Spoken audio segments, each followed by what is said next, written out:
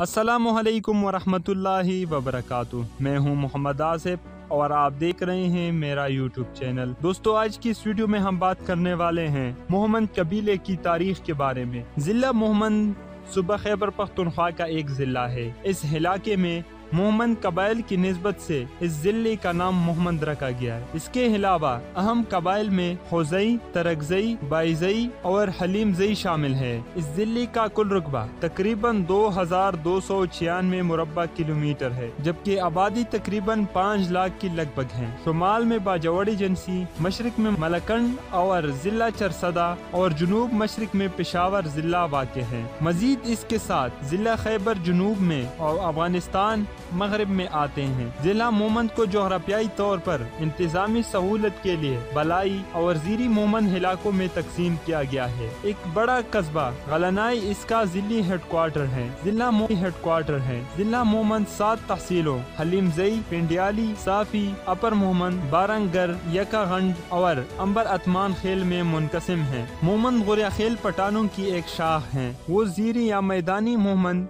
और बलाई या बर मोहम्मद में मुनकसिम है। मैदानी मोहम्मद जिला पिशावर की जुनूब मगरब और दरियार बारा की जुनूब में है। इनकी पाँच शाखें हैं। मियारजई, मुसाजई, दाविजई, मतनी और सरगानी सारे गुरियाखिल की तरह इनके सरदार भी अरबाब कहलाते हैं, जिसका मतलब आका है। ये नाम मुगल शाहनशाहों का हता करदा है। वो हमदा और मेहनती कश्तकार है और मासिवाई अफ्रीकी बॉर्डर के तमाम मकाम पुरअमन से रहते हैं। बर मोहम्मद सोलहवीं सदी के इब्तदा में गोरियाखेल से अलग थे और दक्का के मुकाम से दरियाई काबुल को पार करके उस दरिया के शुमाली पहाड़ी इलाके पर काबिज हो गए और वहाँ के बशिंदों को ऊपर कब्रिस्तान की तरफ़ निकाल दिया। फिर उन्होंने दरियाई काबुल को दोबारा पार किया और दरिया के जुनूब किनारे और अफरीदी पहाड़ों के मगरब से लेकर दरिया खैबर के शुमाल तक के इलाके के मालिक बन गए।